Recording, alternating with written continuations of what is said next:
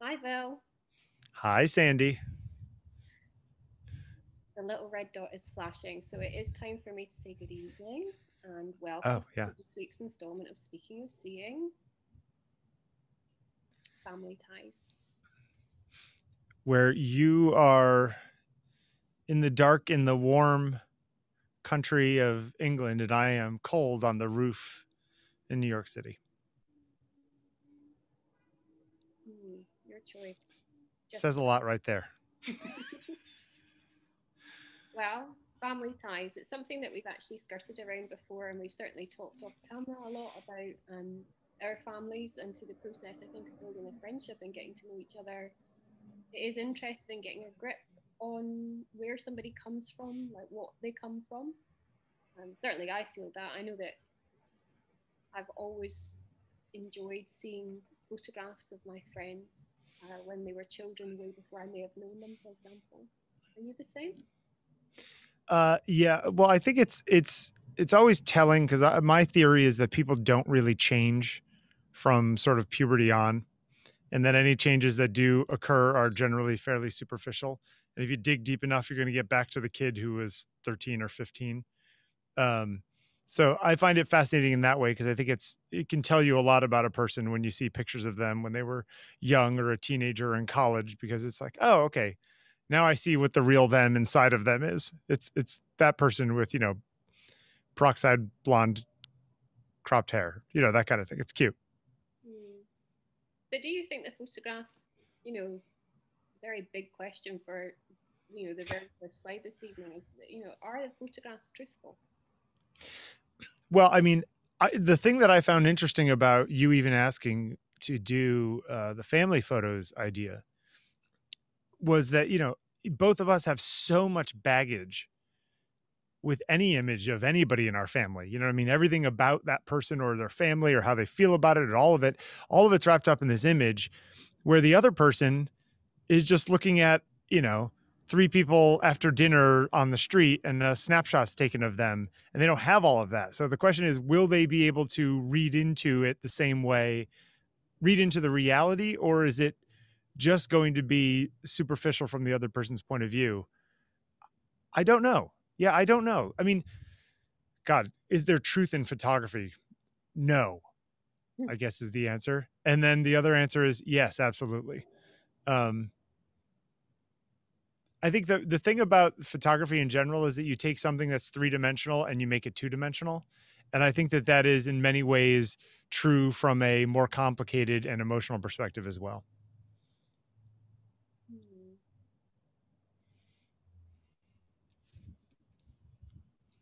So, in the UK at the moment, um, much as galleries are closed because of uh, the pandemic, uh, we still access to the National Portrait Gallery, the virtual exhibition of the Taylor Wessing uh, Photographic Portrait Prize. It runs every year. The prize has been running for 26 years, I think. Um, and all week this week in, in online school, I've been taking classes to the virtual exhibition to have a look around all the photographs. And this photograph is one um, that has stood out. It's actually one of the prize winners. So the photographs that are in the exhibition more widely are um, shortlisted from well over 5,000 entries, international entries from all around the world. Um, it's a really prestigious prize. I would recommend anyone listening, if you are interested in photographic portraiture, to go and visit that virtual exhibition. I think it's an amazing resource to have access to an entire exhibition virtually for free. Um, but anyway, this this image is in the top three. It's by Lydia Goldblatt. She's a, uh, I think she's got a master's somewhere like Goldsmiths in London. She's um, had solo shows. She's an established photographer um, although truthfully I'd never heard of her before this exhibition. Um, and the photograph that the judges selected uh, was actually from a series called Fugue. Um, and the title of this particular photograph is Eden. And that's because the photograph is of Eden, and Eden is Lydia Goldblatt's daughter. Um, I know, Bill, you haven't seen this photograph before. Um, the reason why also I put in this evening's presentation is that it seems rather rudimentary just to say, well, it's a photograph taken by a mother of a child it's a, a family photograph in as much as it could be a photograph we happen upon in somebody's family album. But I think there are lots of things to do with the, the wider title of Fugue, that kind of musical reference, um, but also the series content. There's lots of information. The Taylor Wessing Prize, by the way, is an excellent exhibition in terms of having lots of contextual knowledge available. So every single photograph on display has got not just a title and an artist's name, but um, also uh, you know an extended blurb, I suppose, about you know what, what what's going on, who the person is, and so on. And the series fugue starts with Lydia Goldblatt scattering the ashes of her mother, who's just passed away. This is right at the start of the COVID pandemic. And the series traces her very limited family life and these um, I guess, snapshot moments that could be very familiar to lots of us, and yet Eden, much as it's the name of her child, a beautiful garden full of everything we could ever want, yet so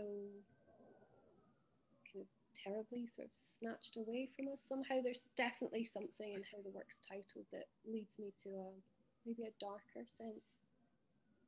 Do you, do you think she she she named her daughter Eden just so she could do a photo series about her seven years later? Of course. Let me ask you a question right off the cuff. Do you see it as Eden wants to be in there, or do you see it as Eden was put in there? Think Eden wants to be in there, but I think it's a happy accident that it also lends itself to probably what the photographer wants. Eden wants to be it's you know it's funny your your whole discussion about the concept of Eden, the garden and all the bit and all the rest. And you look at this child inside a plastic box outside in this beautiful instead of just sitting on the ground on a blanket, she's inside a plastic box on the ground on a blanket in what seems to be a very lovely backyard. Yeah, but you know that's why photographs like this, you were saying before about how uh, maybe the other person will look at a family photograph. Um, and, you know, in our series coming up that are from our personal family albums, uh, the other one of us might not get the, the references, we might not understand the inferences, and we symbolism. We won't yeah. know the the deeper issues that mm-hmm. are within each image. And likewise with this, though this is a, a, what I think of as a formal portrait, and it's also now going to be a very widely known portrait. Um, nonetheless, you know, what are the subtexts and how many layers are there to the meaning in this particular piece? And, and by the way, I would just like to say that it's also always the case I find with my own child is you can give them a giant backyard, but they'll only want to stand in about a centimetre of it they don't sure. necessarily want to go and leap about in the sun. They want to go and stand in the cardboard box. Always, you know, there's this, it's not contrariness on the part of the child, it's just a different kind of inquisitiveness that we perhaps don't remember. I think it's also a, a, a desire to sort of contain or have power over oneself you know? It's yes they're in one centimeter but they're in the one centimeter that they choose today and it might be a different one centimeter tomorrow. Yeah. But because I, of that, and looking at this photograph in context then of speaking about family ties, I do wonder in portraiture how easy or hard it is to claim that a photograph of a family member taken by maybe either one of us or by our parents could ever actually be a portrait. Like, what is it really a portrait of, or who is it a portrait of?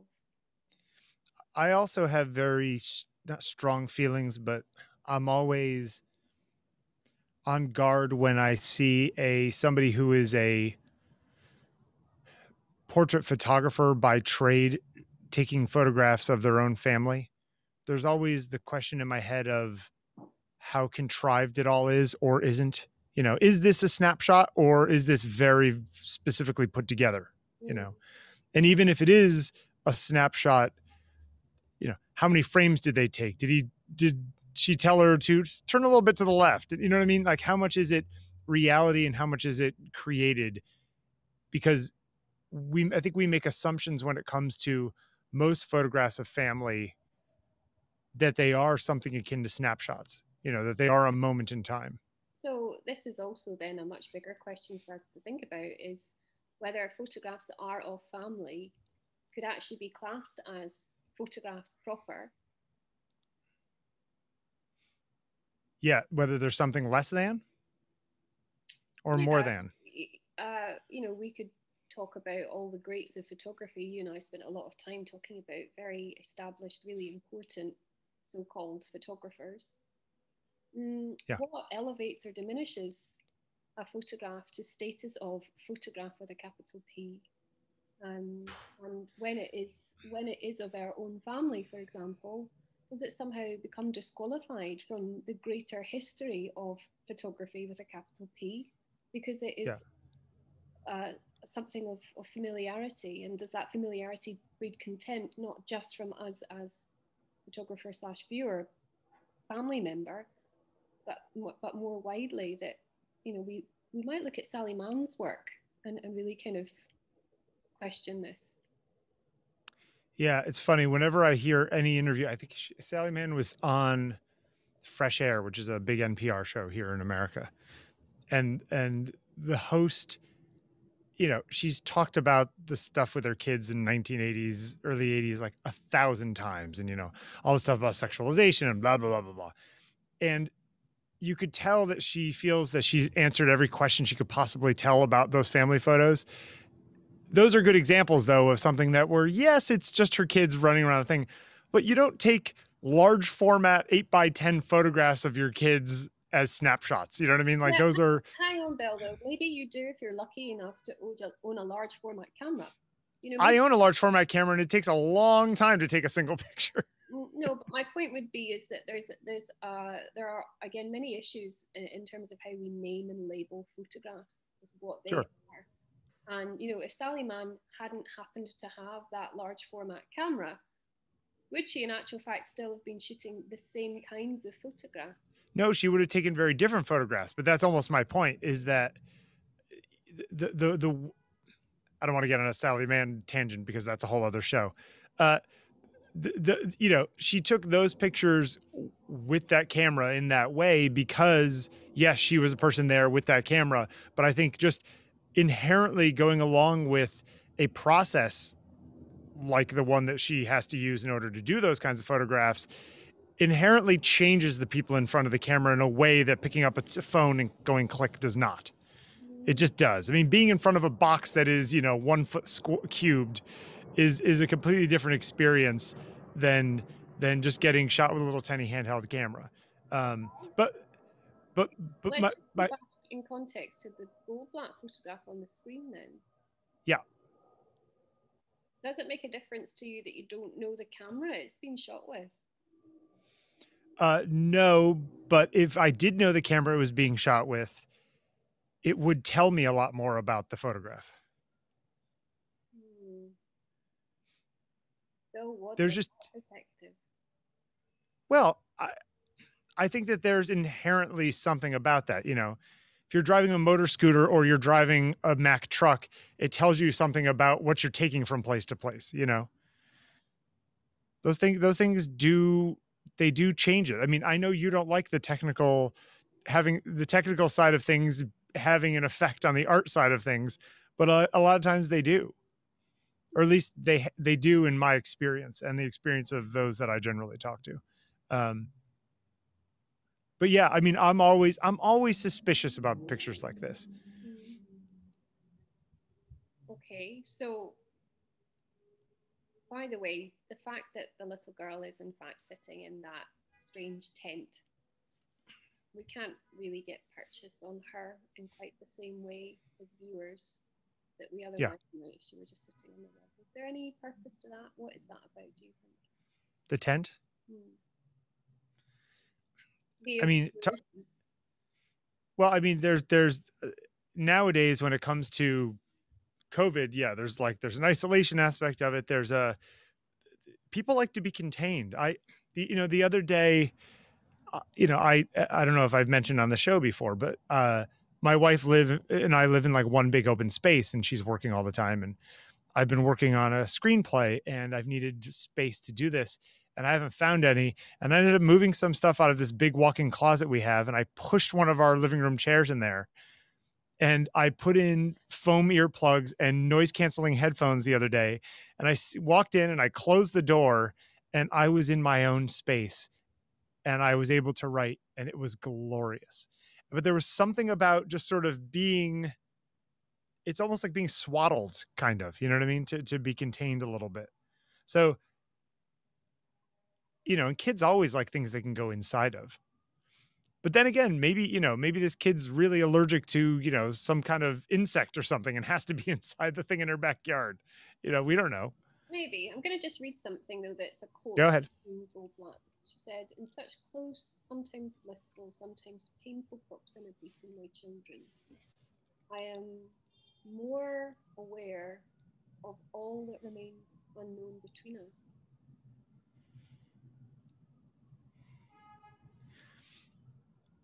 or I some stuff sh- all that remains unknown between us. I think that's I mean that an extraordinary thing to say about one's own child. It's maybe kind of brave to say those sorts of things about. Well, it is, and I mean, I think you can, in some ways, you can speak to it more because you, you know, have children. I, I, it's. There was a time in my life where I would think a statement like that felt what's the term we used to use on, on taking pictures? Uh, full of art school pretense. But but but now when I hear that that statement, it actually not only rings true, but it rings in my head. I say, well, of course that's true. Eden is a different person than Lydia. There's going to be things that are impossible to know about one another, and that's kind of what makes them individuals. And that's not only okay, that's good. Do you think when you're making portraits, Bill, do you ever really know, get to know your subject?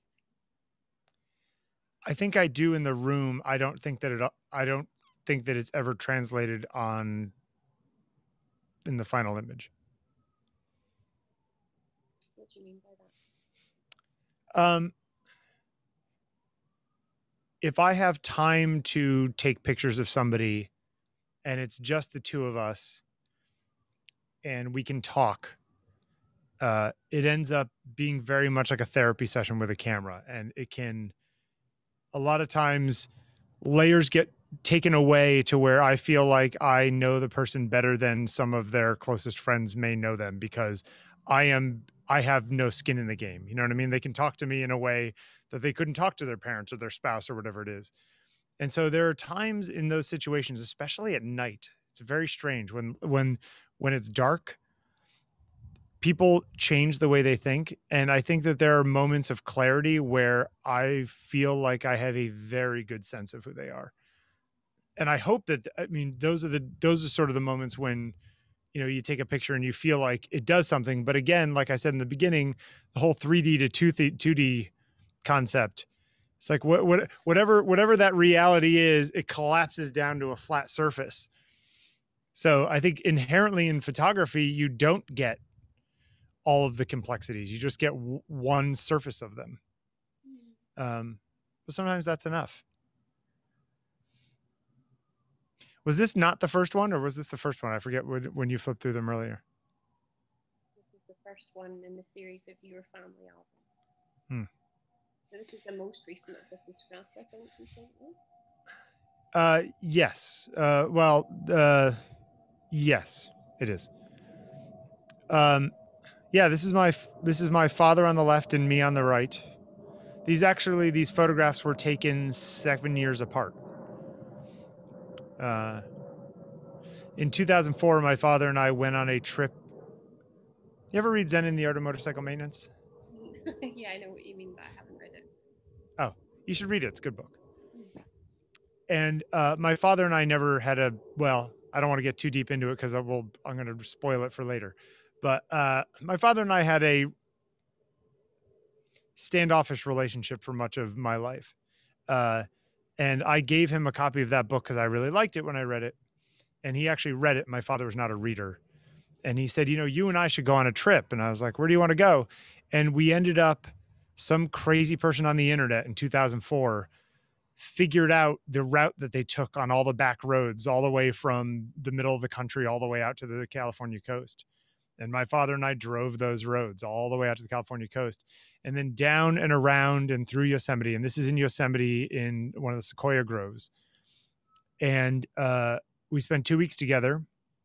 And my father had stopped drinking because he had uh, pancreatitis, which it turns out was pancreatic cancer, which killed him uh, about 14 months after this picture was taken. Um, and so this is a picture I took of him through this tunnel tree. And when I went back there with my wife years later, uh, I wanted to get myself in the same position. So I did, although my hair's terrible in that picture. But um, yeah, it's weird do you identify with your parents? Do you see yourself as in any way a diminutive version of them or a sort of a copy of them? I don't think there's a straight answer to give to that, really. I could yeah. Circumnavigate it, and we are also going to talk about that kind of idea, I think, as we go along, really, because I do wonder about who I wonder about who I am in that I know who I am. I'm self aware and pretty self confident. However,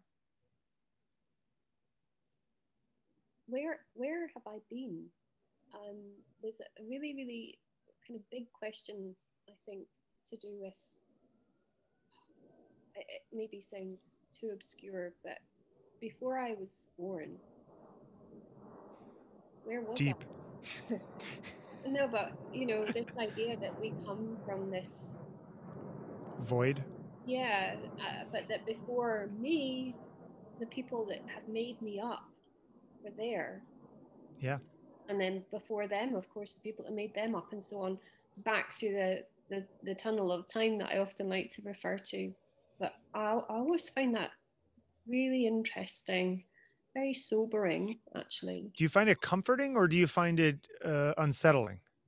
I can see why it is comforting But I think there's a great danger in seeking comfort from it. And that's also to do with relationship with truth and memory, I think. Um, I also think that, I mean, to go back to the last photograph, the fugue photograph, I mean, there is this idea that, you know, we're, we're, we're born, we live, we have children, we die, and then the children just repeat that, and we're just stuck in this loop, right? That's continually changing versions of the same theme, variations on the same theme. Is that I, what you've been doing here? In this photograph, you mean? Hmm. Yeah, absolutely. But but but in the same way, I spent the first, I don't know, 40, 30 something years of my life trying to not be my father in many ways. Like I, if anything, I wasn't I wasn't trying to be my father. I wasn't trying to be me. I was trying to be the opposite of what he was. You know what I mean? I was trying to be the anti my father. Um, part of it has to do with the fact that I am William George Wadman Jr. The guy on the left is William George Wadman. I am by definition a diminutive version of my father, you know, by name. Um, do you resent that? Yeah, I would. Ne- if I ever had a child, I would never name my child the same as me. Hmm. I think that there's all kinds of stuff that goes along with that. Well, I mean, I'm Sandi, and yeah, my dad is Alexander uh, and Sandi is a kind of pet version of Alexander. Yeah. Uh, and my dad's dad was Alexander. And my dad's dad dad was Alexander. You know, there's it kind of goes again yeah. idea of like going back through generations. I, I always find it interesting. There's lots of stuff again. You can uh, look it up. There's a I think it's a, a brothers who do this. They kind of repose themselves Sure. Yeah, I know this.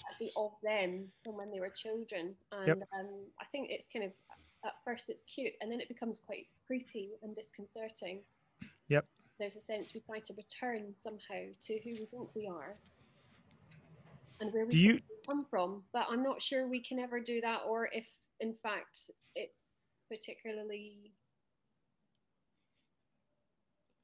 maybe it's healthy to look at it, but not to do it or try and be it or live it well in, even in even in this case of this photograph i don't see this i mean yes it's me further down my timeline standing in the same place my father was standing right like that's that's a reality I see this in some ways as you ever there are there things that you ever wanted to do because they you need to do them because they need to bookend something else. I need to go back to this place just so I've been back there. So now the other time I was there, so th- so that that place or that moment is mine now as opposed to theirs or ours. Does that make sense? Yeah, it does. Yeah. Um, I think so. I, I mean, that is very true. Also, once somebody's died, isn't it? That we perhaps seek to. Some people are terrified of returning to rooms or houses, for example, childhood homes, when Yeah. parents have died, because there's, yeah, there's a terror in a kind of slightly um, maybe the, the opposite way. There's a terror that the essence of that memory will be lost through the revisiting of it. Well, I mean, there's a reality to the idea that the more you recall a memory, the more it changes, right? Mm. That's like that's like a true psychological thing that they've shown. I think that So in some ways, the more you remember somebody, the more the less they are how you remember them.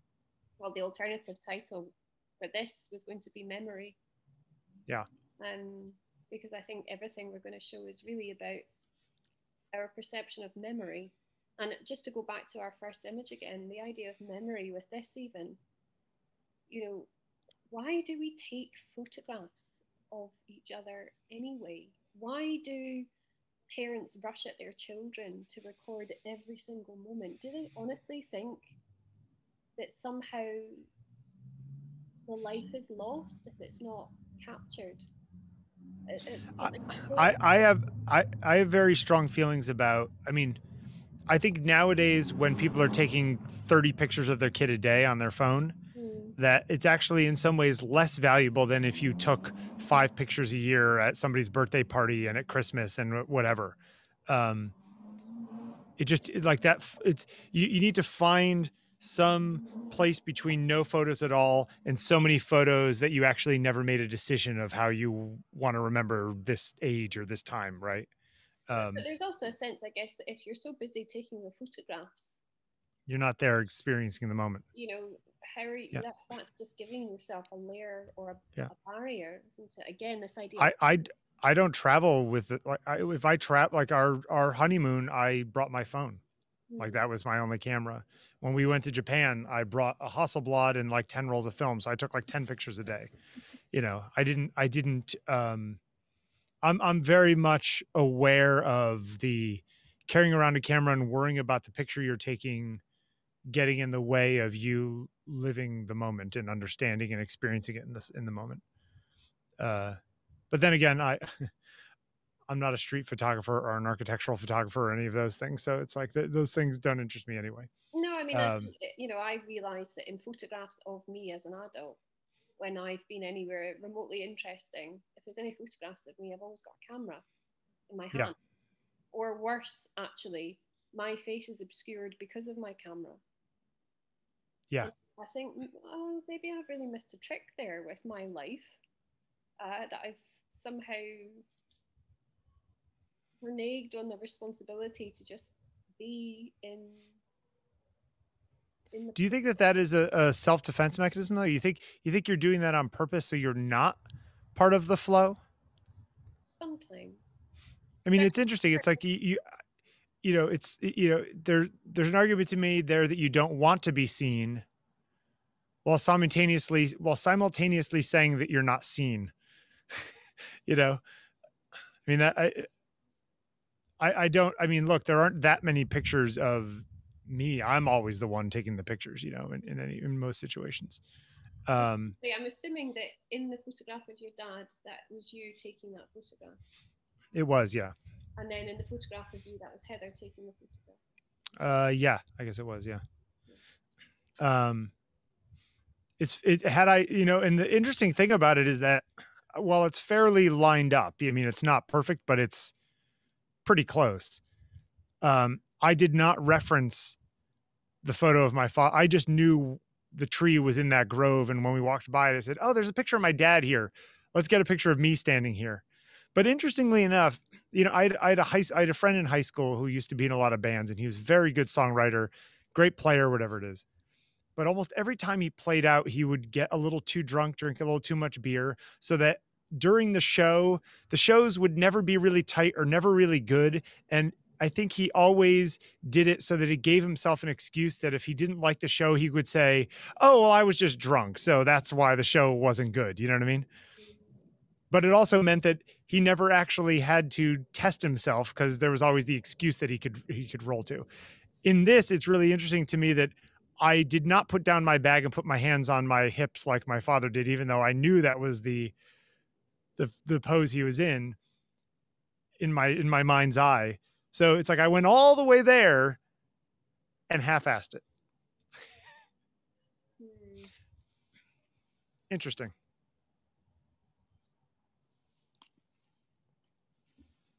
What year was this? Hmm. I was trying to work out if I was pregnant in this photograph, so that would have been maybe 10 or 11 years ago. I look quite chunky, I think. Is um is the sepia tone uh by choice in post or just a yellowed uh print? No, it's just a it's just a yellowed print. And also, I think this was shot on 35 mil film. F- film? What's film?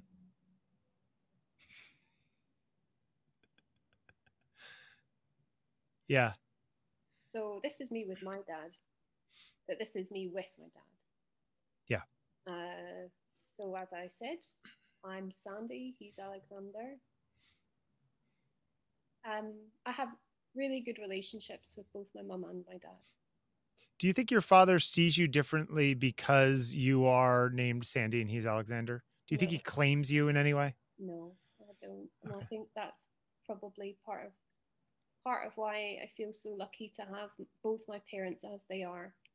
Because yeah. much as they've at times tried to corral me, um, I don't feel like they've ever tried to. There's a natural parental thing. I mean, I do it with my child, you know, a sense that are you like me? You know, I wonder, dad sometimes revels a bit when he thinks I'm being like him and he likes to call it.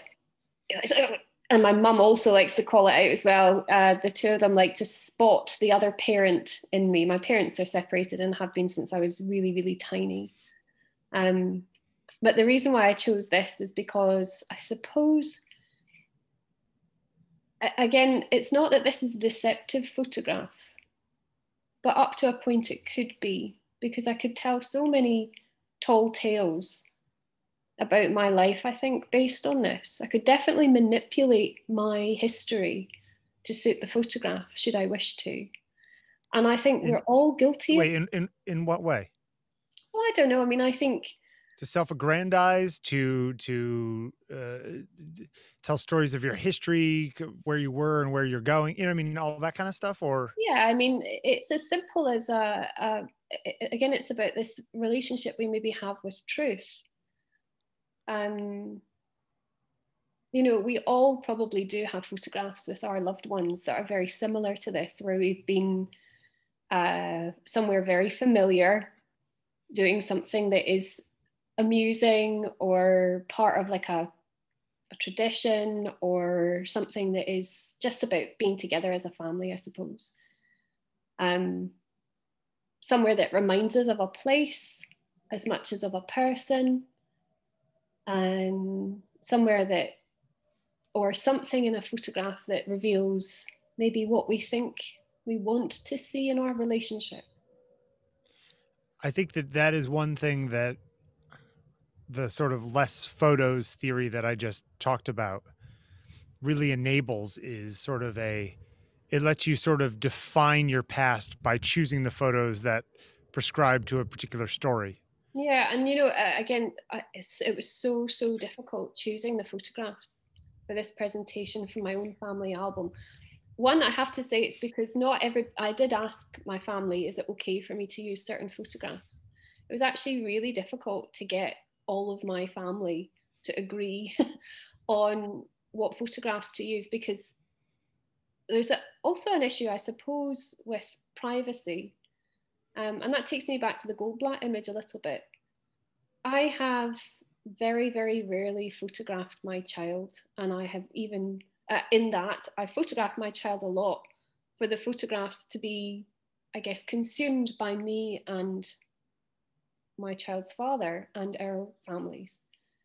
But I have never ever been interested in uploading making art with your child, yeah. Uploading yeah. those photographs to Instagram or Facebook or yep. um, you know, I, I really I, it makes me that makes me feel very uncomfortable. Um, and I'm one of those annoying parents in, in the school kind of release forms who says, please don't share images of my of my child online. I, I, I would like my child to have the opportunity as an adult to make decisions about what they want to share about who they are.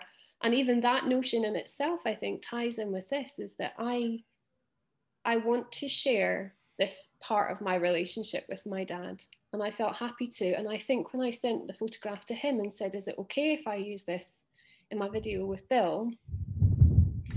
I suspect we both see the same quality of love and of um, father daughter kindness and warmth that we want people to see. Do you think that there there's there's some chance that in that conversation he would take your question as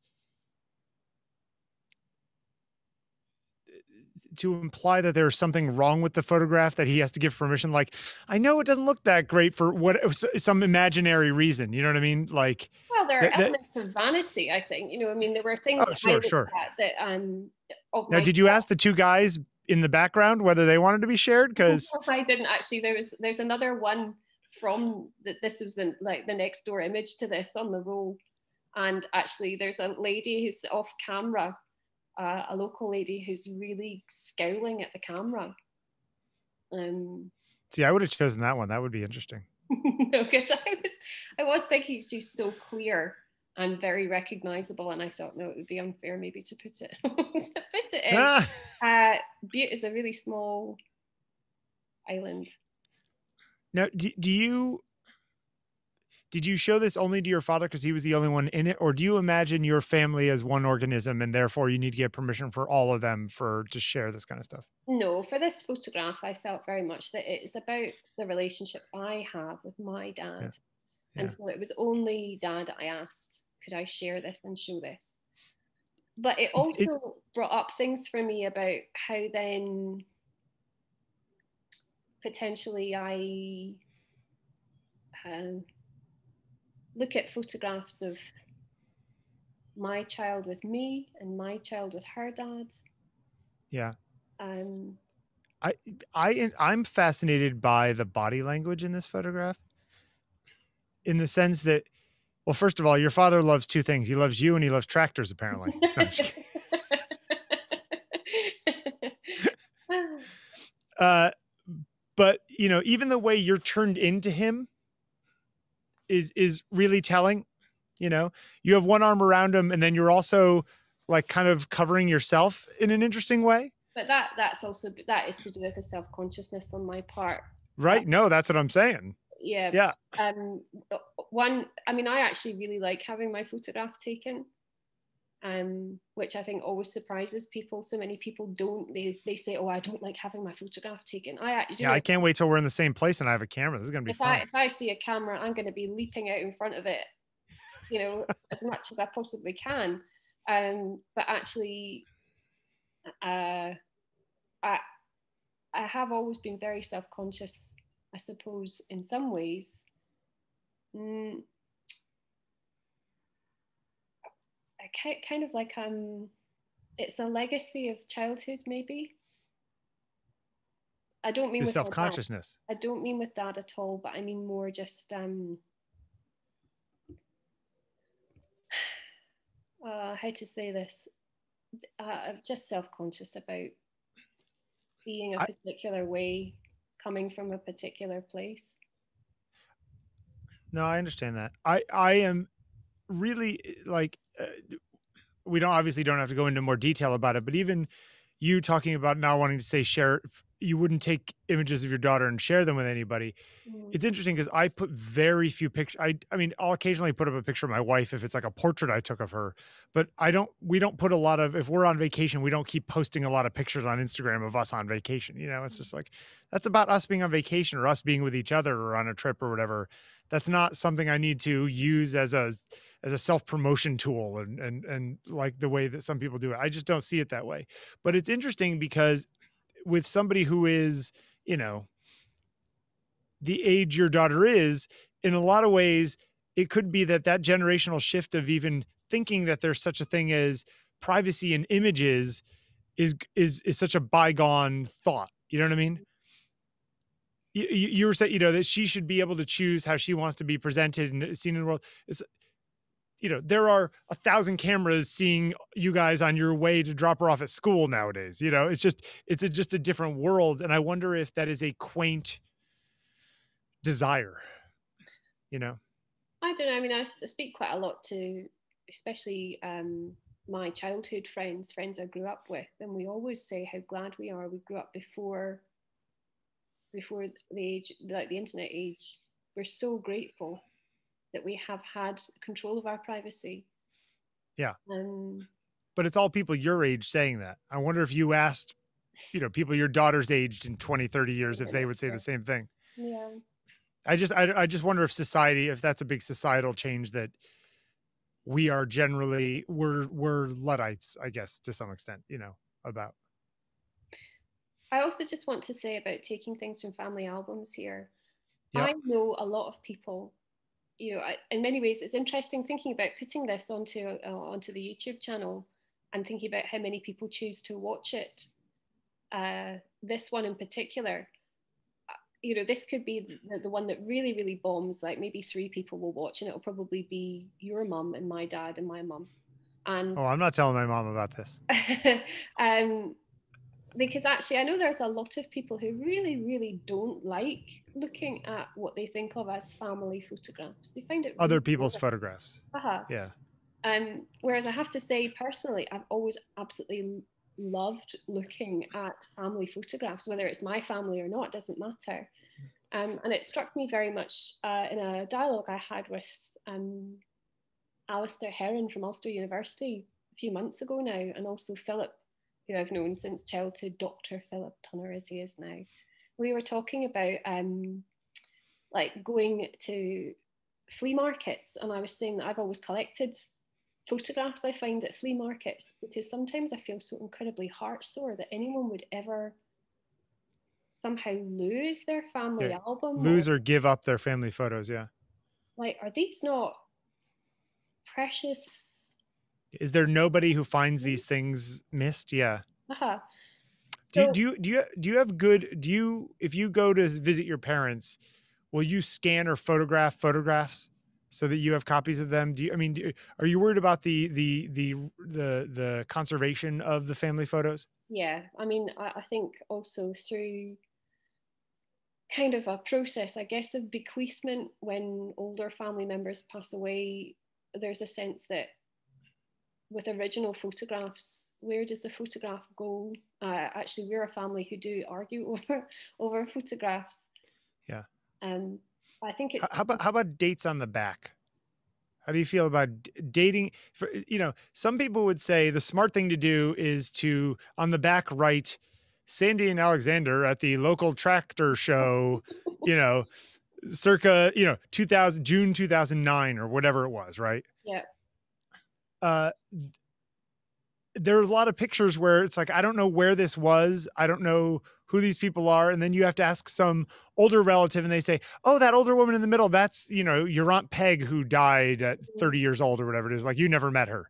And that might be the only picture of aunt peg that exists in your psyche or you know what i mean in your family's realm. But isn't it funny that these people do exist? As in they do exist in our psyche. And again i think this is particular to families um, i have a very very loud very dynamic family and my parents for example are lovely and they both also have extremely big personalities. I don't think either of them will mind me saying that. Um, and they are both in their own way very good storytellers. And I guess I come on both sides from long lines of, of storytellers. I don't mean people telling tall tales, I mean just keeping that spark of like a family narrative alive of course, I question why we feel the need to do that, but I definitely feel like I've inherited that. Um, I guess it's an interest. It's it's about putting oneself into time but also taking oneself beyond one's own time and feeling through the the archetype the family yeah. mm.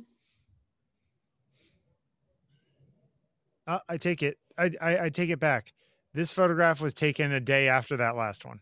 Oh, okay. Uh, this is on the same trip, and I think there's three photographs from this trip just because they are, I don't know, they were archetype. My, there weren't a ton of pictures of my father and I other than this, except for older ones, which we'll get to. Uh, yeah, this is in Death Valley at the lowest point in the Western Hemisphere, which it's kind of creepy that if there was water was let in here, we'd be 300 feet below mm. the level of the ocean. But yeah, I mean, there is, you know, it could be that my father and his father took a trip similar to that, or it could be that you know, you know, our grandfather once drove across the country to Alaska. This is a true story, and he just left one day, and no one knew where he went until he sent a letter home you know, this is like the kind of crazy stuff. Maybe on the way there, he went through Death Valley and then drove up north. Mm. And my grandfather once stood here. I don't, you know, I don't know, but like, let's say that th- that is a thing. By the way, I'll tell you one quick little aside.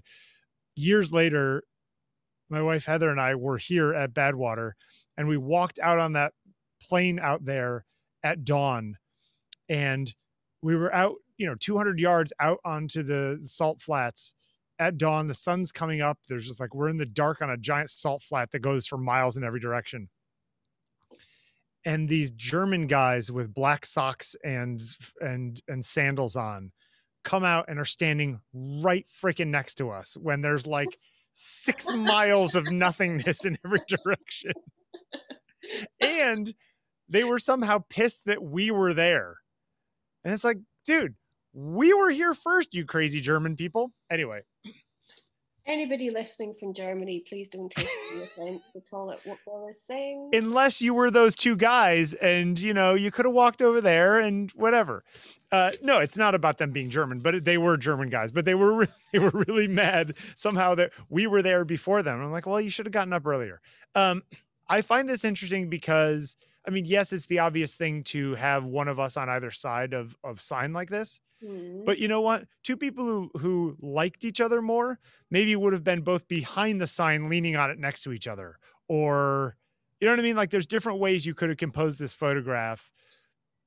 Okay, so you know, obviously yeah. I put these in an order, right? Yeah. Um, this isn't like, oh, don't my dad and I have such a wonderful relationship? We do, but actually there is so much in a photograph isn't there? And when we look at these family photographs they are just as loaded as yep. any fancy fine art photograph we would see in any gallery. And yet they're yep. residing in the bottom of boxes in attics and in dusty old albums tucked away and there are literally billions of them. And there are so many of them.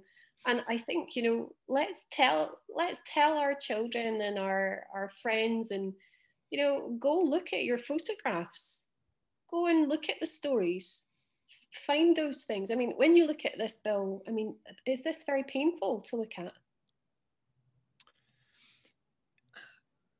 No, uh, only because, you know, actually, I had, a, I had a long conversation this morning. I went for a long walk at 6:30 a.m. with a woman that I used to date 20 years ago who lives in the neighborhood, and she lost her father from cancer when I met her and then you know 10 years later i lost my father to cancer. Uh, and so we were walking and we were talking about losing parents and all the rest of it and talking about just sort of getting over how many layers there are of getting over the death of your parents. Like you could be mad that they died. You could be mad about things they did before they died. You could be mad that they're not there now to see your kids or whatever you know what i mean? The different layers of the onion there are. I've come to peace with the fact that my father's no longer around I've spent many, many years of therapy coming to terms with the way that I felt because of the way my father was towards me often. So it is it is interesting to look at these as they're sort of signposts along a road. You know what I mean? They're they're they're snapshots in the meta term of it of of our relationship. And the interesting thing about it, especially along this trip, which, you know, like I said, was two weeks long, 14 days, and we drove like 4,000 miles in 14 days, um, was that our relationship changed a lot over those 14 days, you know? And this is halfway through that trip or, or somewhere abouts. And so I feel like in some ways the, the, the thaw was melting a little bit more around now in that trip. So in some ways I look at this and yes, while the while the physicality of it is obviously separated and distant, we're both leaning in towards each other. you know what I mean? Like there's at least that. Mm. Um Did you um when you told people about this trip you were going on? Yeah. Did people think it was an odd thing to do? For you two with your particular relationship? I think that I I don't know. I don't I don't remember people having much reaction to it. I saw it as the fact that my father even read the book, let alone suggested we take some sort of trip together. Mm. I am a firm believer if somebody is is is putting out their hand that you should take their hand yeah. because it is a difficult thing to ask. You know what I mean?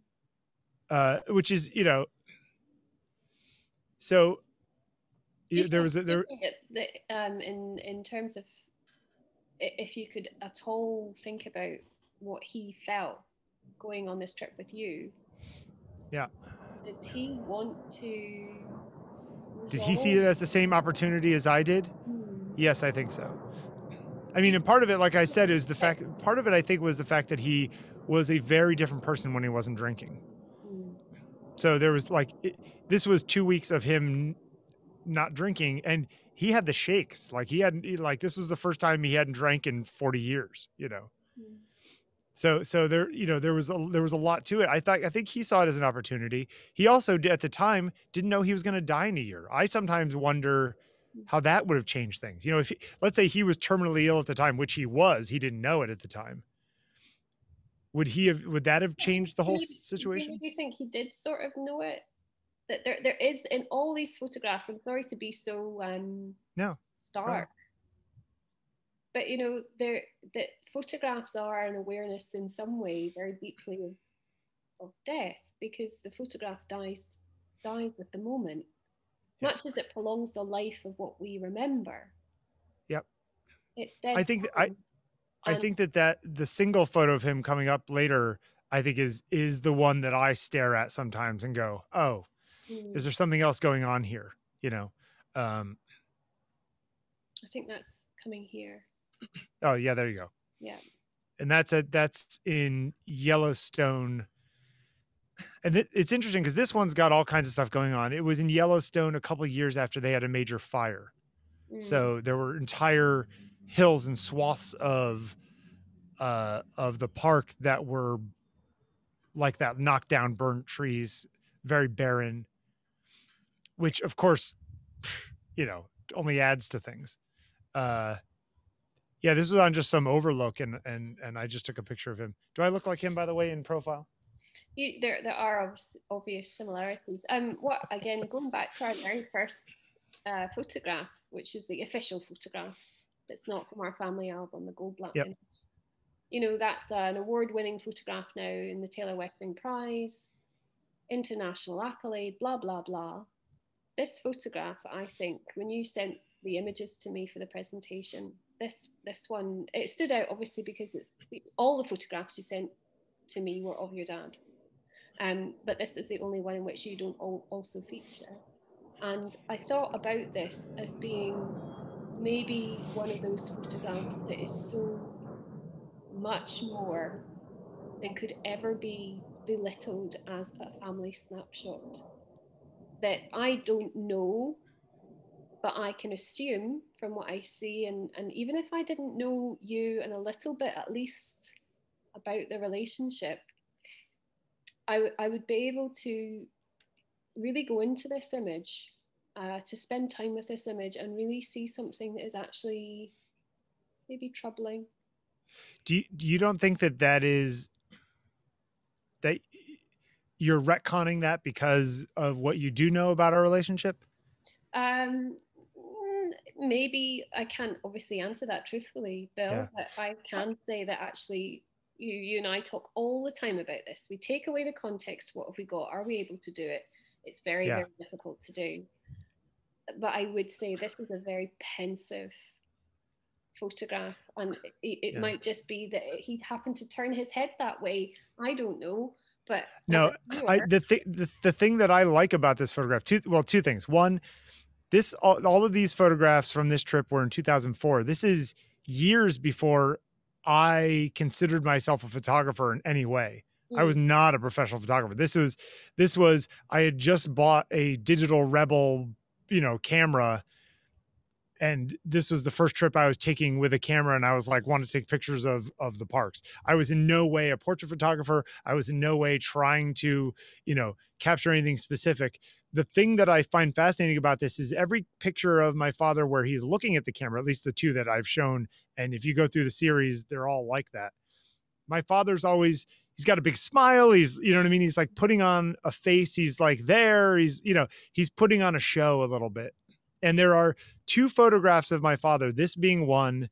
And then in April of the next year, this is in June of 04, in April of 05, when he knew he was sick and he was dying, I set up a blue sheet in our living room and I took some pictures of my father uh, w- with a strobe, and they're awful. And I, it's like now having the skills and experience that I have now of what would I do if I had my father in front of me now taking pictures, mm. it just it kills me to take take even look at these. But in every single frame, Sandi, he's got the smile and doing the whole thing, except for the first frame that I when I set up the strobe and I just hit the button just to see if the strobe was working, and it's out of focus and it's this shot of my father with this face on, and you think to yourself. Oh, that's really what was going on in his head. Mm. And I think that this picture is really what's going on in his head you know it's sort of this is unguarded. Well you said to me before that very often clients will not like the photograph you pick of them. Yeah. Because it's the one that probably shows something of the real them. Yep. And again thinking about this in context of family photographs and family albums you quite rightly said at the start when we are looking at goldblatt's image you know maybe there is an element of kind of contrivance that the photograph is contrived. It's not um, just a family snapshot. It's not just a family photograph. Maybe she's orchestrated every single element, carefully curated it. Um, this one is not orchestrated. But actually, we again, there's this extraordinary wealth of story, of um, kind of compassion and humility of, of a wider humanity in our family albums. Sure. And the face we choose to show in our family photographs is as revealing, maybe, as if we were, if we knew we were being photographed by a so called proper photographer. I do, I wonder how um, if we can go there and it's okay to go there, I wonder how your dad would feel now being photographed by you, knowing that you are now considered a fancy professional photographer. It's it it, it is a weird thing that I've thought about a lot, you know. Um cuz he died before I even you know started getting serious about this stuff. So yeah, here we are 16 years on you know, and I've had a career doing this professionally and and you know it is a it is it is a strange feeling because my father was you know it's it's funny my father was an amateur photographer and there's actually eight millimeter footage of family movies that I had uh, digitized. And when I watched them there's six seconds of my father with a camera in his hands uh, putting a flash on a camera and loading film fast and Heather saw it and she goes, "Oh my god, that looks like you loading film into a camera." Like it, like the physicality of the way he handled a camera was very similar to me. And when I was growing up, I had my father had a Canon AE1, like a, a SLR, and I wasn't allowed to touch it because it was like the fancy, expensive camera. And one day I didn't listen to that, and I took it to school and I took pictures in the seventh grade, and I got in so much trouble And after my father died, I inherited that camera. And it's downstairs in my closet. And it is the, this isn't like a, a value judgment, just like, but it's the sh- crappiest camera I own, right? You know what I mean? Is this camera that was the thing I couldn't touch when I was in seventh grade. And sometimes I think about that. I'm like, that is just so strange how life goes that way. You know what I mean? And and what are you gonna say? Well, I just think that's the legacy of photographs right there. What you've just said. Yeah. So you're talking about it as a kind of anecdote about an actual camera. The fact is, the photograph is the same thing. Yep. You know, these times that we hold so precious, what really are they to us? You know, again, this idea you go to a flea market, you can buy some other person's whole family album. You know, those moments captured that were so important, they were photographed. What are they now? They're, you know, Do you do you think though that you know in, in the in the in the flea market family album uh, uh, scenario?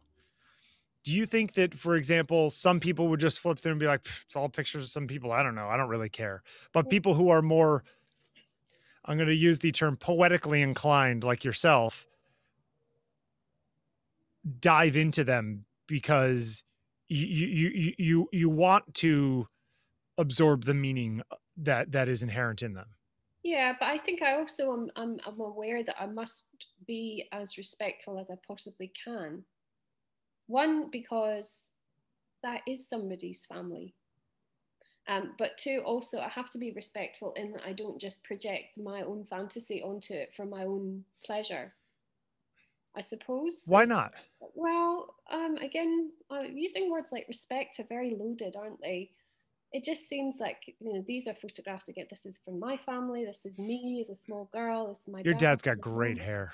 yes, he does. He still has great hair, except it's white, completely white now. Um, Yeah, if, if you recreated that picture on in the on the bottom half, where if you just like laid down his chest, it would just be white on white on white with white hair. um, you know, if somebody found these photographs in a flea market, Yeah. God, it kind of steals me in my heart space. It's a horrible feeling. It's like, well, why should somebody not love these photographs? In because they're they're almost like tokens then, and, and it's horrible to think of them as just tokens of, of a life. But that is what they are. But I, I think then that's why it's so important to respect that they are about life. These people aren't nobody.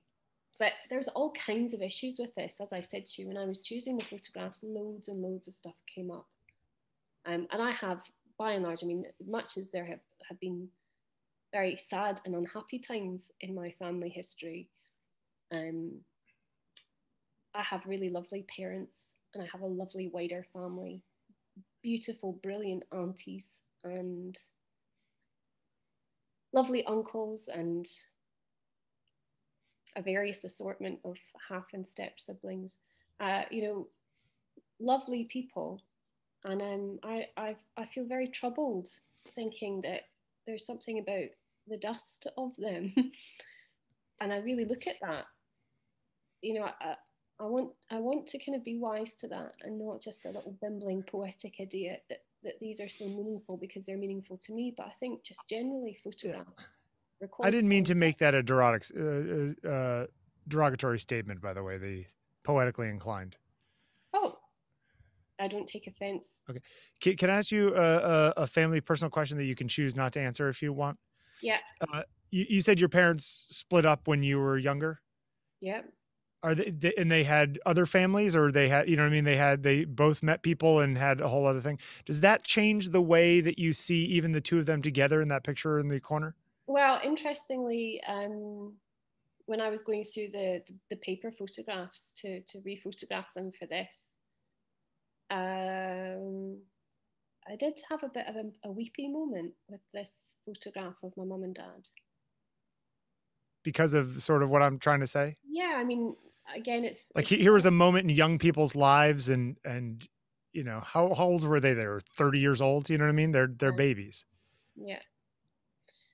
and of course, then I think about it with my child, and I think about all the photographs that I have with my child and her dad. Yeah. And what is she going to think of those years later? You know, yeah. when she looks back and she sees her mum at 30 and her dad at 30, and, you know, we're all so civilized. I suppose, if it's okay to say, all decent humans but we're all loaded up with our own saddlebags bags of sadness. Sure. Title title for the show: Saddlebags of Sadness. yes. Um.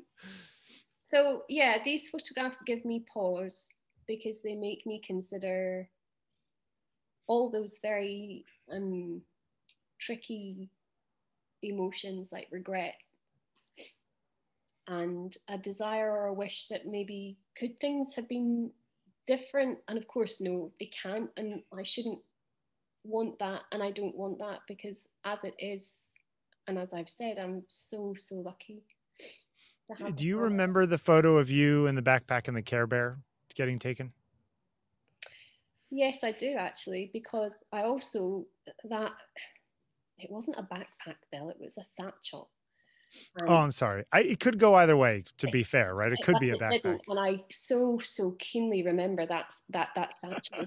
my goodness, I thought I was the absolute bee's knees with that red satchel.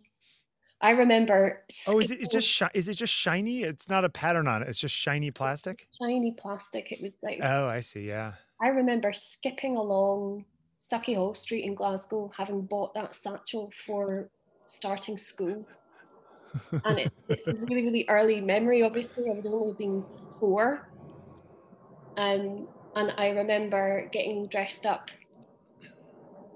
in my school uniform and the care bear mum coming to collect me uh, it was actually after my first day at school and strapped into the back seat of her car was bedtime bear care bear and I honestly thought like the equivalent would be winning the lottery now. Honestly, like I had my red satchel. I'd gone to school. I'd met my teacher. I'd met somebody actually who is still one of my, my loveliest friends, Jamie. We were together on the squirrel table in primary one. Um, and there I was, came out, and there was Bedtime Bear Care Bear. Anyway, these kinds of anecdotes, like you and I find them amusing as friends, but I know that other people listening will think this is dull as ditch water. Yeah, but, okay. But, first of all, aren't you impressed that I knew that it was a Care Bear? No. Everybody knows uh, Care Bears, though. I mean, don't silly. Uh, so so so yeah. So this was just a, a a first day of school gift from your mother. Is that what you're saying? Yeah, but the red satchel and the Care Bear together was like a double whammy. It was like the yeah, you you honestly, how could you ask for more in life? Well, you can't when you're fine. You can't. You can't. Yeah, you're done. Um. Anyway, back to the sad, very thoughtful stuff. you know, it is it is a, a, a kind of melancholy that comes from this, a wistfulness and a poignancy. And again, who needs a fancy like fine art photograph to get that resonance.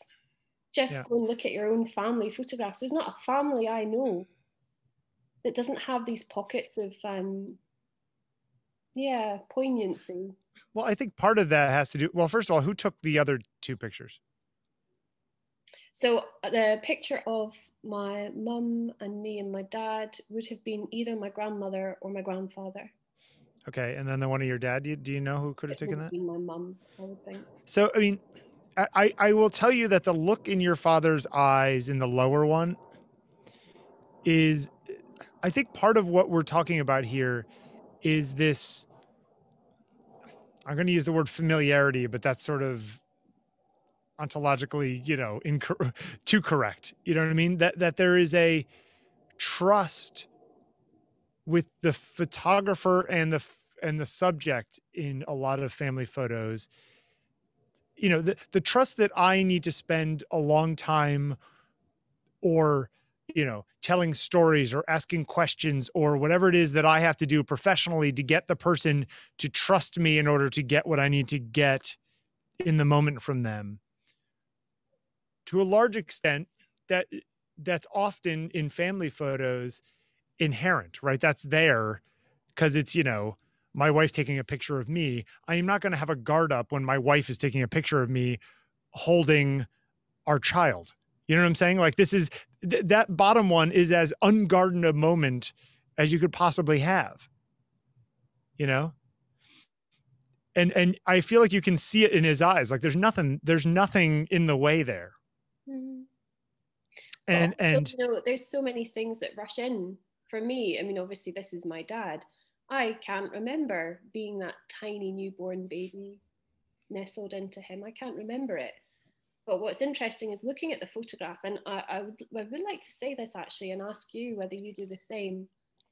Um, I don't know if it's like some kind of out of body experience or something, but when photographs like this one of my dad with me as a baby, um, obviously I can't remember being the baby, but I remember the photograph um, yeah, yeah, yeah, yeah. I see what you're saying. You know, Do you identify with that baby? Do you look at that baby and go, "Oh yeah, that's me," even though you obviously have no memory of that moment? I think what I identify with more is I actually identify with the presence in my dad of me, and this comes back to kind of what we were touching on before about this sense that we've come from somewhere. uh, yeah.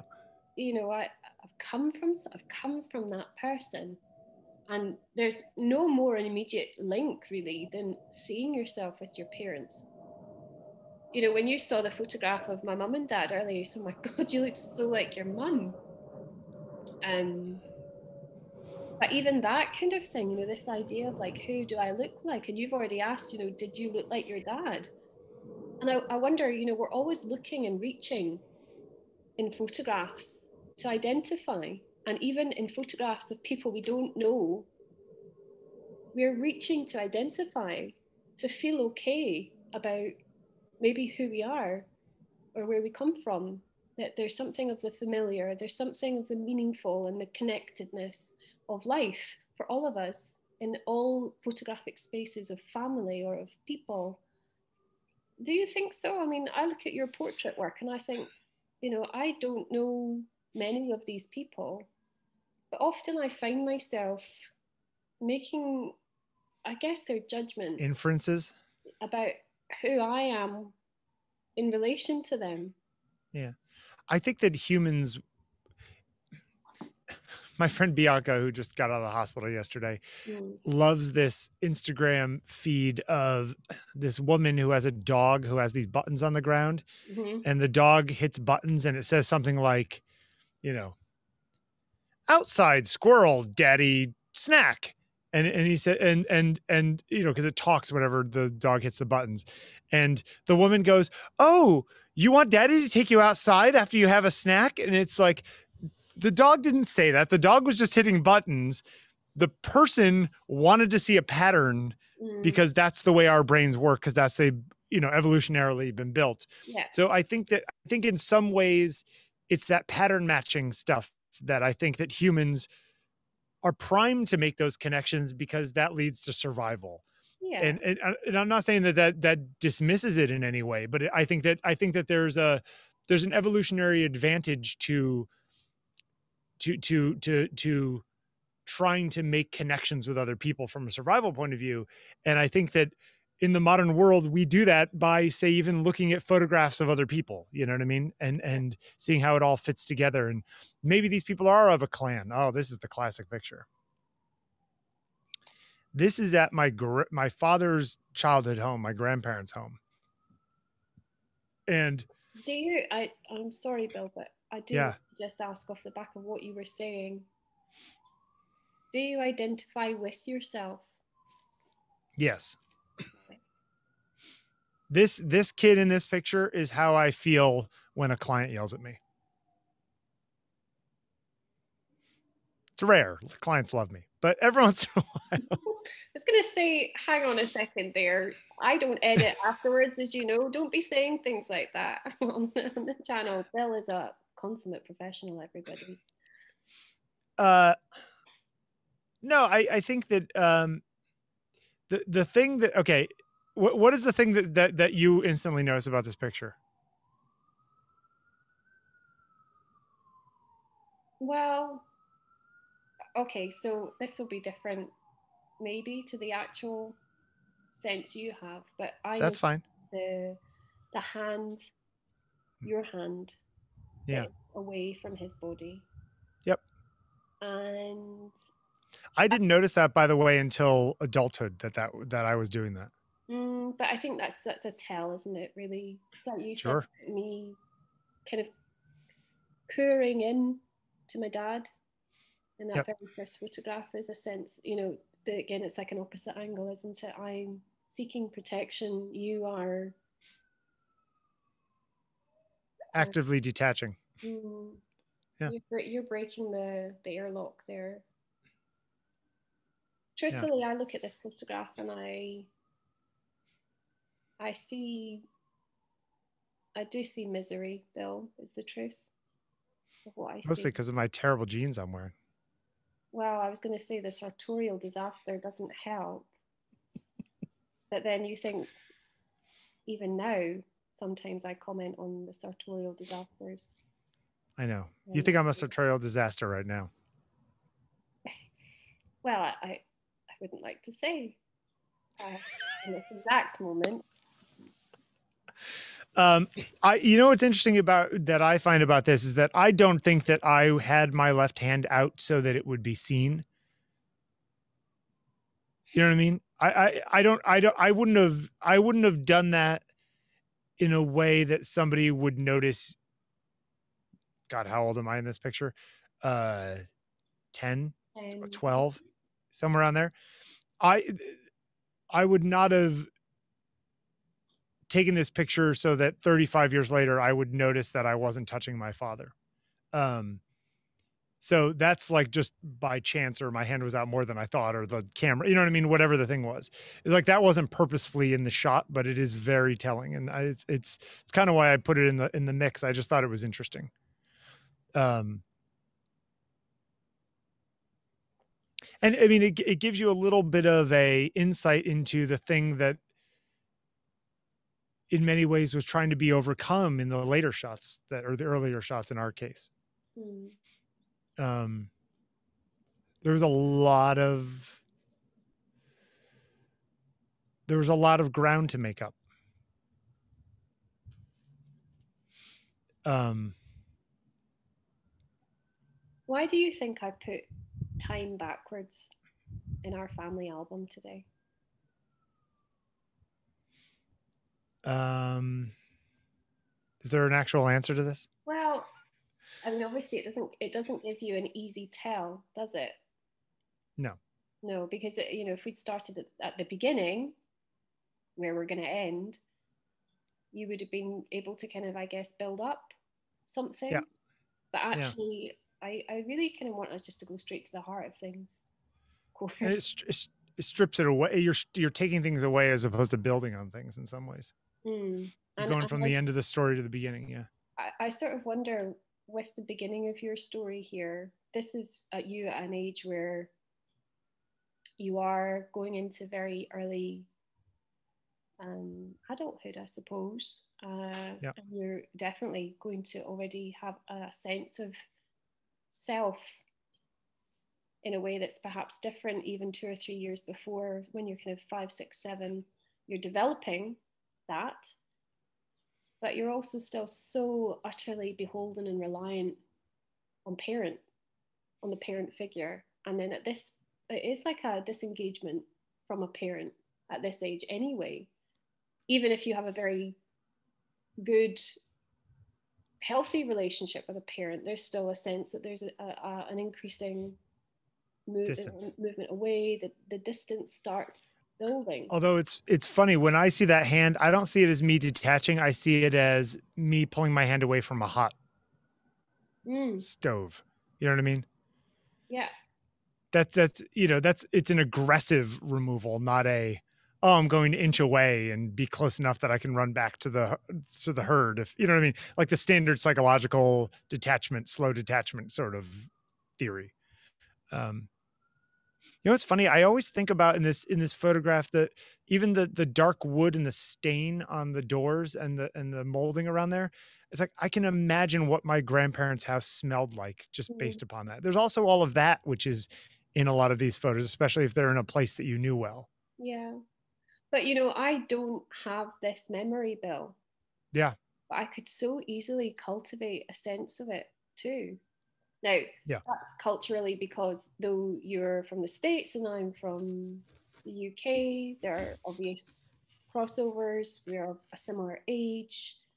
Um, I can I can smell the house. Yeah. Uh, you know, I, I, know I sound just like such a weirdo half the time when I talk about these things. I can smell. Um, the call's coming from inside Sandi. yeah, but I definitely get a sense that you know, again, this is about looking at photographs. We go right back to the beginning into that Goldblatt image. Do we get a real sense of being in that garden or in that tent? Um, and actually, yes, I do. And I'm doing that all the time, as many people are with all imagery, finding again connections and something to build a relationship with within the photograph. And much as to, to me, again, even as much as I can say uh, with any integrity, if I was to take away what I know and I was just to look at this photograph, I would feel very uneasy and unhappy in this in this place. Yes it's it's it's the the smile on my father's face and the fake smile on my face i think belie the reality that you can see through you know all of that maybe that's just my own interpretation of it looking at it years later but i you know I think if, if you took two people who weren't us and gave them this photograph and asked them to analyze it from that kind of point of view, I think they'd see a lot of stuff in it too. Yeah. But again, what's interesting is that I don't have that many pictures of me and my father. This is like one of a handful. When your father was being photographed here, do you have any sense at all of how he felt?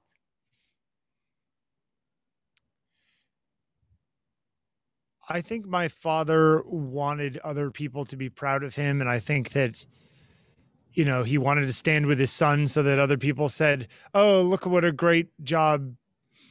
His parents called him Billy. It, you know that Billy does, you know, is doing. Look at his family, and you know what I mean. Like I think it was a see what I made here, mom and dad, because you know I think that there was a lot of that sort of thing. I mean, he seems genuinely happy to be there with me in this photograph. Like that's a genuine smile on my father's face, a genuine my father smile on my father's face. Um,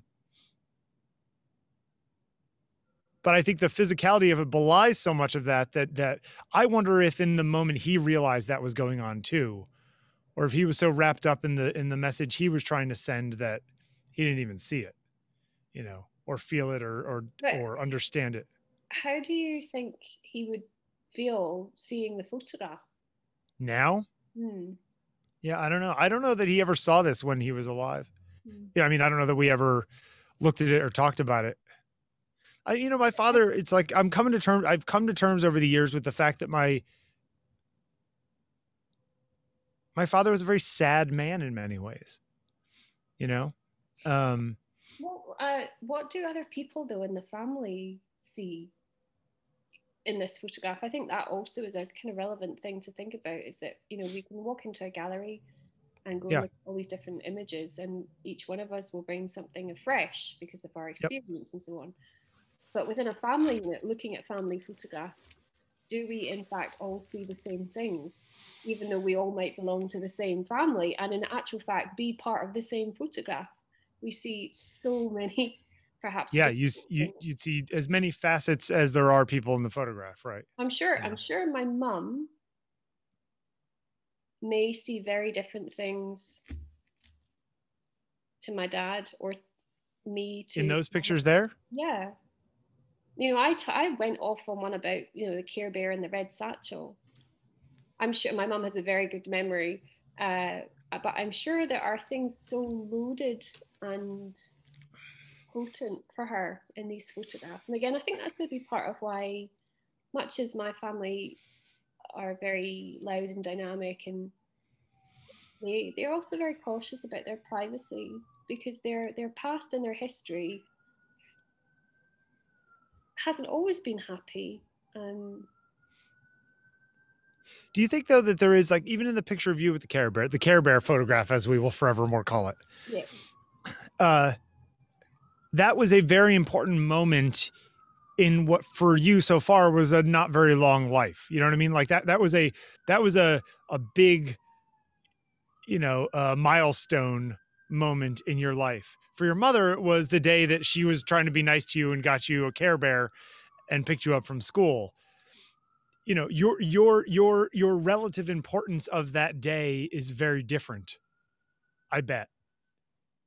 Maybe, but you know, the other thing I realised through selecting the photographs and speaking to family about is it okay if I use these photographs? You know, um, I do feel all right just mentioning it for myself. You know, you said in the very early photograph we looked where you'd paired the image of you with your dad. Yeah. Um, you know, 14 months after that photograph was taken of your dad, he was dead. Yep. Well, I could say that within, you know, photo- photographs are also markers or lines in the sand, aren't they, for events? Um, you know, I look at my mum and dad with me as a flower girl at my auntie's wedding. Well, it was maybe it was my uncle's wedding actually. Um, you know, they were separate very shortly after this. And, After um, the wedding or after the Care Bear picture? After the, the the image of the three of us, and then after the Oh, okay, yeah. picture, it wasn't very long until I was I was very ill as a child, um, and I spent a lot of time in hospital, and it was a great worry for my family. And I look at this little girl, um, in Scotland in the early 80s, it was actually quite unusual. Uh, there was only me and one other child whose parents were divorced at primary school. You know, it wasn't kind of regular. Yeah. And um, I think I look at this little person and I, I identify with her. I feel really sad for her as well. I feel really glad for her. Thank goodness I do have the family I have, and there's such resilience and love. But I also think, my God, we went through some really crappy times. Sure. Um, But as you said, you wouldn't change any of those things. No, but would you?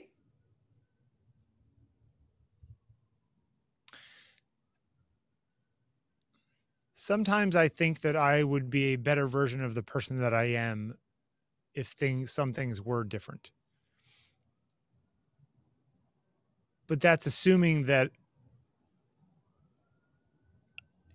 that there is some sort of, you know, platonic ideal of me inside of me to achieve. You know what I'm saying?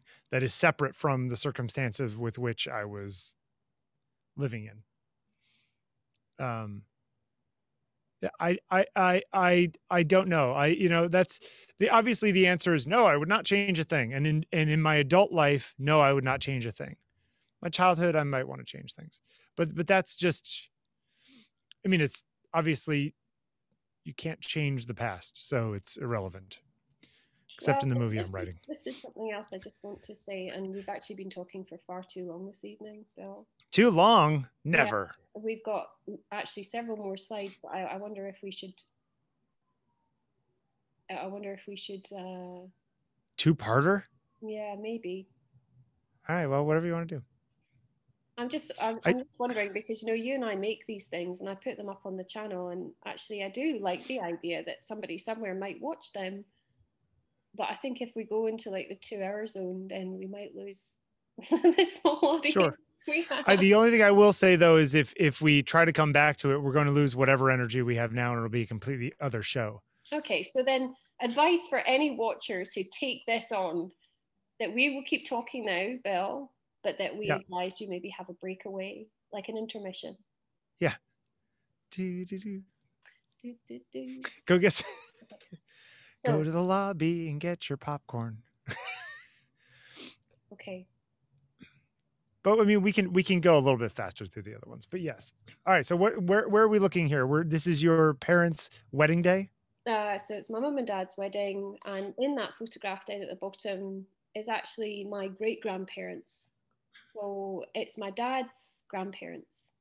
And I was very lucky when I was born for quite a long time. I didn't just have my grandparents, I had great grandparents as well. That's crazy. Mm, and they all lived to be quite ancient in their 90s. And um, so I, I, knew them for quite a long time. It wasn't just that I was like three or four. And very, very tragically, my dad's dad passed away when I was still uh, very, very young. And I have really no real recollection of him. And, and that's the gentleman you can see in the photograph with my dad's mum, obviously, my, my paternal grandparents. Right. Um, I, I wanted to put these in because, again, I, I really like the sense in family photographs where I'm not present, I feel so incredibly present. Yeah. Like, like almost as if you are inevitable based upon the situation that's in the photograph. It's not just the inevitability of me, but it is it is kind of like an actuality. The inevitability of Sandi. There's another title for the show. but there's there's also a sense that you know we've all also somehow always been. Yeah. Through every little impact and effect of all life that's led up to me at this point. Um, also, just a little aside, I know we're zooming through this now, but um, characters and families, you know, I love that there are so many stories in my all, family. All of those smiles, by the way, are genuine. Your father looks a little tired of smiling, probably because it's later in the day and he's been smiling all day because it's his wedding and he's had to smile for a billion pictures. What's but really like, annoying about this photograph is that actually, you know, you commented on my dad's hair before. and yeah. Um, my dad's hair at their wedding was absolutely humongous. It was like a giant orb around his head. Oh, that's cool. You can't see it in this photograph because of the black background. It's black on black, yeah. Yeah. So um, his dad, by the way, is I don't know if you've heard of McIndoe's guinea pigs. In the Second World War, obviously, lots of, especially young men, suffered from terrible burns and disfigurements. Yeah. And McIndoe was a pioneering plastic surgeon. And my papa, Robertson, uh, was in a plane that was shot down and he was very badly burned. And he was one of McIndoe's guinea pigs to trial this pioneering plastic surgery technique and skin grafting. Yeah, I was going to say skin grafts, sure. Yeah. And then, so he had a special little button. And again, I'm speaking like I can remember this notice you know, this is an extension of the photographs, isn't it? I'm speaking as if I can remember that Papa had this experience. Sure. Uh, but I only know it because I've been told it. Isn't that a weird thing? Like he, he had a little pin that was guinea pig club pin. Oh, that's cool. Where where's the pin? Don't know. An uncle probably has it somewhere. You should you should track that down. Um, but I don't know, again, you and I are of an age where our parents, baby boomers, their parents were in the war. Sure.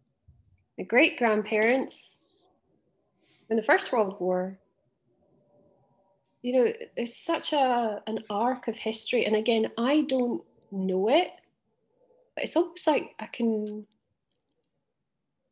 feel it somehow. Or maybe that's just me because my family are always jabbering on. We're always talking.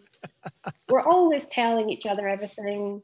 And so I think also when when like my Papa Robertson died when he was in his 50s, because he died so tragically young, I think maybe there is a sense that we animate him through talking about him and you mentioned, you know, like the past is gone. I do wonder if the past is gone. Like, is the past actually dead? Is history dead? Or is it really alive? Because we're alive and we're communicating through I don't know, are we conduits for the past? I don't know. Well, it's a it's a very it's a very Coco analysis of it. Um, you know, the, Thanks, the, What the movie? you know the whole idea that somebody's not dead and if if there are people who knew them still alive you know i mean i mean it's like i love the various ways you seek to diminish what i say I, Uh, not diminishing anything. It it was a very you know well known uh, regarded movie with theories and stuff. But I I I totally I haven't seen it. This is what I've been told. I can't watch movies like that because they'll make me bawl. Um, I still have yet to watch Up for the second time because it just killed me the first five minutes oh of it. God. Yes. I like I I sat there and I just thought, you know, my biggest fear is regret, and that entire movie is all about regret, and it's just like, oh my god. Anyway, I didn't mean I didn't mean to to, to dismiss what you're saying. I, I you're right. I think that we we are live. It, it, what I, what I would say though is that you could imagine some scenario where the grandchild of the uncle who has the guinea pig pin will find that pin will have never heard the story about his great grandfather or whatever it is and be like, what's this guinea pig pin? And then when he dies, it ends up at a flea market and somebody like you finds it and they go, what is this guinea pig pin? Not knowing this enormity of history that goes along with it. You know what I mean? So things do get lost in time. I mean, it does, it does happen, you know, and, uh, but there, there's, so there's something tragically sad about that but at the same time there's also something some a little bit of like a ashes to ashes dust to dust. We have these experiences we have these memories we pass them along to our children or grandchildren or friends or whatever it is but in the end it all just settles back down into that void that you were talking about in the beginning that you came from. Yeah. You know and, and i'm not a religious person so like i you know i don't i don't subscribe to any you know reincarnation or theory of cyclical nature of of time or any of that kind of stuff. But but there is something there's some sort of inherent beauty to the idea that like came from nothingness and we end up as nothingness. And and that's okay. That's sort of that's what's supposed to happen. You know i this picture you just put up which my mother i put it i i used to put this up for the first few years, first few years after my father died, I would write some sad post on social media about the death of my father, and you know, as one does. And this was always the photo that I would use because it is the most. First of all, I look at this picture and I think to myself, my father was 32 years old there, or you know, whatever the hell he was when this picture was taken. Um, but there's this innocence in this picture, right? There's you know mm-hmm. it's just a a, pair, a father and his kid standing by the shore of the ocean. It's like like limitless possibility and all of those you know all of those sort of themes that you could you could layer on top of it. The reality of it was very different than that. And i also see him and i see the way he's standing and i see the way his legs are shaped or whatever it is. And i have similar calves to my father or whatever it is you know what i mean? And i and you can see yourself in a photograph. I'm sure there's pictures of your mother when she was younger than you and you think oh my god like is when i was you know the age i was when i had my daughter is that what my mother felt when she had me? Is that how she felt? You know what i mean? You, or, you know was it that direct or or does everyone have their own little experience? You know i don't know well, I do think there is something in this that I, I also want to mention about, you know, I've shown mainly photographs, I suppose, of me with dad because I took your lead really. But um, I, I was just trying to I was just trying to to simplify a larger family dynamic is is all I was trying to do by choosing photos of my father. Yeah, but you know what I would say is that I have many photographs of me with mum. Yeah. Um, and I think now I have many photographs of me with Imogen. Yep. And I I do what you've just said actually. I, I spend time thinking about this idea of being anchored in a present where I'm also somehow in the past and also somehow in the future. Yeah. Moving Did you bring a Care Bear to Imogen on her first day of first grade or whatever? Are you kidding? I've still got that Care Bear, and that is upstairs in her room. I, but yeah, I mean, there, I mean, there is a certain, there is a certain question though that like, you know, your, ex, your experience of, you know, your daughter's first day of school, her experience of it may be as intense as you with your red bag and your care bear. You know what I'm saying? And it's, it's, it, you know, and to, to, to classify the relative importance of different experiences, especially cross generationally, it's one of those things that you change your, the way you see it as you yourself get older yeah. you know um, w- if I had children and I brought my children to the beach and I was holding my kid's hand in the sand, I mean, you know, we have relatives and nieces and nephews and friends who have kids that that I see as my, you know, sort of adoptive children and I feel close to them. And if I stand on the beach and I hold one of their hands, my God, even if it was my own child with my own genetics and all the rest of the go everything that goes along with that, just you know, I don't know how my father felt in this moment. I would imagine that he felt something really deep and intense because that's how I would feel in that moment. But am I only feeling that because I've seen this picture and it's so indelibly connected to my own childhood and everything that I put into that? I don't know. Photographs, man, it's really complicated. Photographs. Aren't you so privileged to be a photographer, Bill? Look at the look at the nice uh uh uh golden ratio my mother got with that with that horizon. It is a beautiful photograph. Nice job, mom. Mm. she did good yeah, she did good sitting on her chair with her baby oil stuff she used to put on when she went into the sun. Oh my good God. Yeah. So we've come at last, don't worry, audience, to the last. These are your grandparents? My my mum's mum and dad. Yeah. They were very glamorous. Do you think everybody that age was in that age was glamorous? I feel like that was an inherent thing about people back in that day. Maybe. But it's I the also, early 50s or whatever. They're all decked yeah. out going out to dinner. You know? But I also know that they were just very glam as a couple and they were very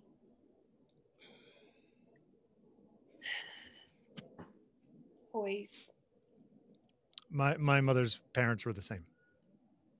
Um, and I was in so many ways well, I was very, very close to my mum's mum and dad.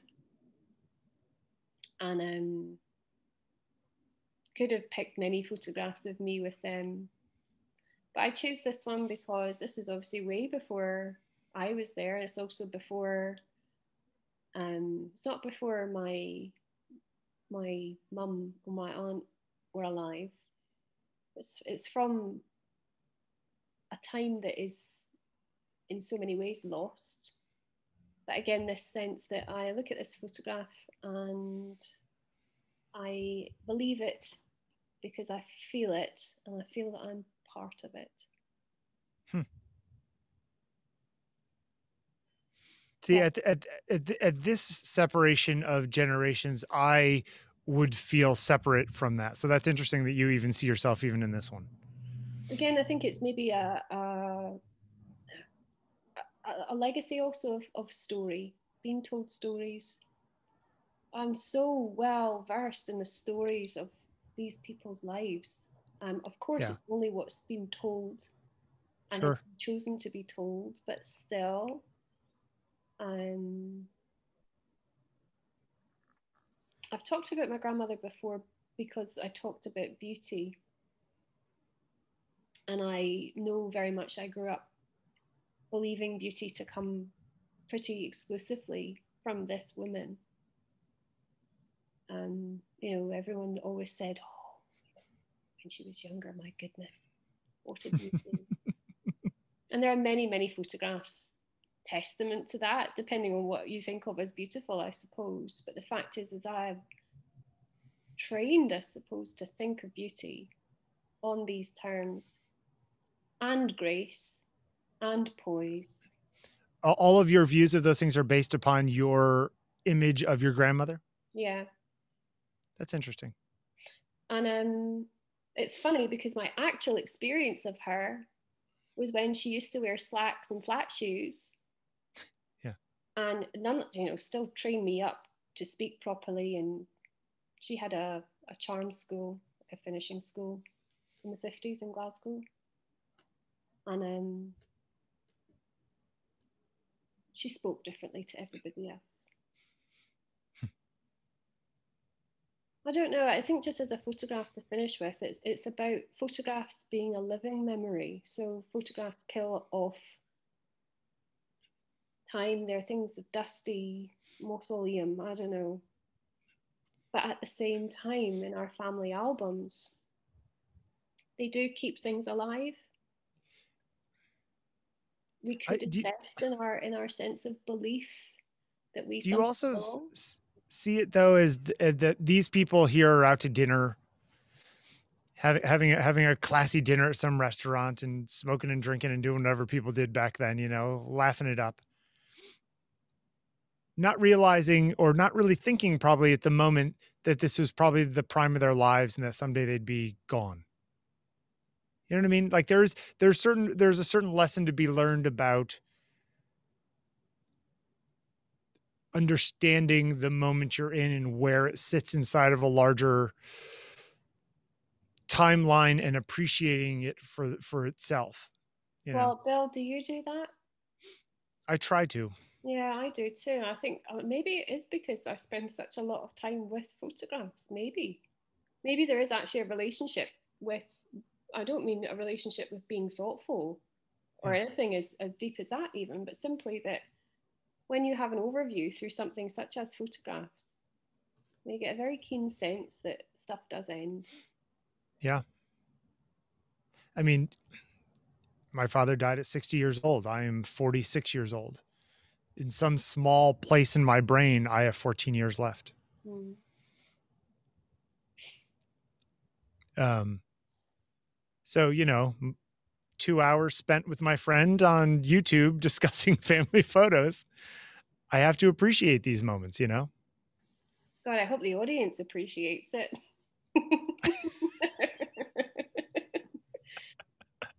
well, I feel it's... this has been a strange and nebulous thing this evening. Well, that's, you know, there's another title for you and me Strange and Nebulous. Wow, Bill Wadman, as usual. It's a pleasure. Thank you. We'll see you next week.